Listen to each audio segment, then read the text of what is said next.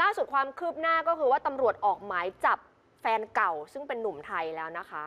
นี่ค่ะนี่คือจุดที่พบร่างของผู้เสียชีวิต บริเวณก้นบ่อลึกเลยนะคะ ในพื้นที่จังหวัดนครศรีธรรมราชตำรวจเองเข้าตรวจสอบ แล้วก็เรียกญาติของผู้เสียชีวิตมาดูด้วยนะคะสำหรับผู้เสียชีวิตนั้น ชื่อว่านางสาวสา เป็นหญิงชาวเมียนมาอายุ 32 ปี จุดที่พบเนี่ยเป็นบ่อน้ำร้างหลังวัดค่ะ ในพื้นที่เมืองคอนนี่แหละค่ะ เธอหายตัวตั้งแต่ 3 มีนาคม และเจ้าหน้าที่เนี่ยหลังจากที่ตรวจสอบศพนะคะ ก็พบแผลลักษณะเหมือนถูกแทงด้วย คาดการณ์ว่านางสาวสาถูกแทงจากที่อื่น แล้วคนร้ายนำศพมาโยนทิ้งที่บ่อนี้ ก่อนที่จะโยนผ้าห่มเนี่ยปิดทับเอาไว้อีกทีหนึ่งข้อมูลจากเพื่อนๆ รวมถึงหลักฐานต่างๆ เนี่ยค่อนข้างจะชี้เป้าไปที่แฟนเก่าของนางสาวสาค่ะอืมชื่อว่านายพิทยา เป็นชายไทยนะคะ เพราะอะไรเพราะพิทยาเนี่ยมายืมเงินนางสาวสาเยอะเลยนะคะแล้วบ่อยมาก นอกจากนั้นเนี่ยไปดูวงจรปิดวันที่ 3 มีนาคม พบว่าก่อนที่หายตัวไปครับนางสาวสาขี่รถนะคะ ผ่านกล้องหลายตัวหลายจุดเลย เริ่มตั้งแต่ช่วงเย็นน่ะประมาณสัก5โมงเย็นนะคะ ขี่รถออกจากห้องพักไปที่ทำงาน หลังจากนั้นหนึ่งชั่วโมง เธอก็ขี่รถออกจากที่ทำงานไปตามเส้นทางต่างอืมๆ จนกระทั่งตอน6โมง34 นาทีเนี่ยจุดที่เธอขี่รถไปอะค่ะ ตรงนั้นน่ะมุ่งหน้าไปบริเวณแยกหัวท่า ซึ่งใกล้บ้านนายพิทยาผู้เป็นแฟนเก่าอืมและไม่เจอว่าเธอขี่กลับออกมาจากย่านนี้อีกเลยครับเช็ดวงจรปิดรอบๆแล้วอะนะคะ นี่คือเบาะแสสำคัญแล้วดูลักษณะการแต่งกายของนางสาวสานะคะ ก็จะเห็นว่าสวมใส่เสื้อสีแดง แล้วก็ขี่มอเตอร์ไซค์บิ๊กไบค์ สีชมพูครับนี่อันนี้สังเกตได้ชัดนะคะ ทีนี้วันต่อมาคือ 4 มีนาคมค่ะ คุณผู้ชมประมาณสัก 10 โมงกว่าๆช่วงสายๆพบว่ามีคนสวมเสื้อสีแดงขี่บิ๊กไบค์สีชมพูเหมือนกันอืมลักษณะมันไปคล้ายเลยอะนะในเรื่องของเสื้อนะคะ ส่วนมอเตอร์ไซค์ค่อนข้างเป๊ะครับนี่ค่ะ เทียบให้ดู แต่คนขี่กลับไม่ใช่นางสาวสาอืมวันที่ 4 มีนาคม คนขี่เป็นนายพิทยาอ่าผู้เป็นเป็นแฟนเก่า เป็นผู้ชายแล้วนะ เอ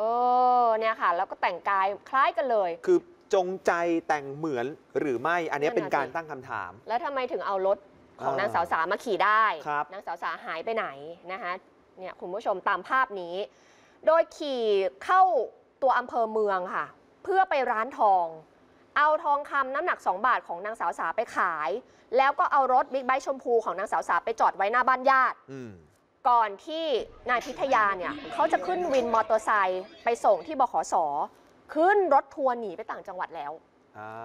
นี่มีการเปลี่ยนอะเสื้อเลยนะ จากเป็นสีแดงสีเป็นสีขาวขาวแล้ว พฤติการมันค่อนข้างชัดนะ เออเหมือนอยากให้เหมือนคนหนีเข้านะใจว่าสาขี่มอเตอร์ไซค์มาจอดไว้ที่หน้าบ้านญาติ ใช่ แล้วตัวเออเองทำไมต้องขึ้นรถบัสไปต่างจังหวัด มันคือมันช่วงเนี้ยเราทองไปขายคือทุกอืมอย่างมันค่อนข้างชัดนะคุณผู้ชม จากหลักฐานทั้งหมดค่ะตำรวจก็เลยไปค้นบ้านพักของนายพิทยานี่แหละ ไม่เจอตัวอยู่แล้ว เจ้าตัวขึ้นรถทัวร์ไป แต่ที่เจอไปเจอคราบเลือดในบ้าน เพราะฉะนั้นตำรวจค่อนข้างมั่นใจว่าบ้านพักนายพิทยานี่แหละน่าจะเป็นจุดเกิดเหตุ ที่นายพิทยาสังหารนางสาวสานะคะ หลังจากฆ่าแล้วก็มีการปลดสร้อยคอทองคำนางสาวสาเก็บไว้เอาไปขาย และนำศพไปโยนทิ้งบ่อน้ำร้างเพื่ออำพราง แล้วขึ้นรถทัวร์หลบหนีไป ล่าสุดค่ะสารอนุมัติหมายจับนายพิทยาข้อหาฆ่าผู้อื่น ซ่อนเร้นทำลายศพ และข้อหาลักทรัพย์ด้วยนะคะ ได้เบาะแสว่าพิทยาเนี่ยขึ้นรถทัวร์หนีไปนู่นอ่าวนางจังหวัดกระบี่นะคะโอ้ก็ประสานตำรวจในพื้นที่ให้เร่งสกัดจับแล้ว ได้คุยกับแม่ของนายพิทยา แม่บอกว่าโหพอรู้ข่าวเนี่ยอยากจะขอโทษผู้เสียชีวิต ไม่คิดเลยว่าลูกชายจะทำแบบนี้ได้นะคะ อยากให้ลูกชายกลับมามอบตัวซะเถอะ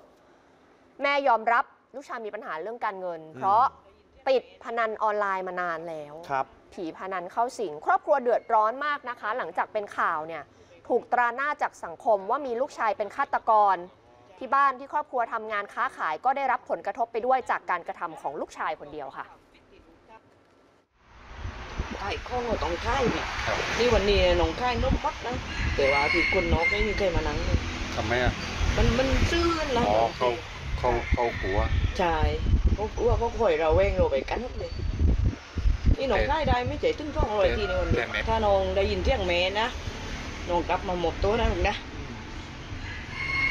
แม่ยังรักลูกก็ตึ้งบันตุกพูดแม่ก็ยังรัก ก็คือถ้ารับเกิดเราถ้าเกิดเราทำจริงเราก็จ่เราก็รับตัวถ้าลูกทำผิดจริงนะลูกติดร่าง ลูกยอมรับความผิดที่ลูกทำ ลูกต้องมามอบตัวนางน้อยๆลูกก็ยังอยู่ในร่างแม่ก็ยังบายใจนี่อยู่แก่ๆไม่ใช่ใกล้นี่แม่ไปเยี่ยมได้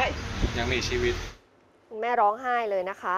ในขณะที่บรรยากาศวัดบุญนารองค่ะ ก็คือเป็นจุดที่จะมีการจัดงานศพของนางสาวสาเนี่ยนะคะ ก็มีการจัดเตรียมงาน เพราะว่าหลังจากที่แพทย์ชนสูตรพลิกศพเสร็จสิ้นเรียบร้อยแล้วญาติก็จะรับร่างของนางสาวสามาประกอบพิธีต่อไปค่ะ ครับ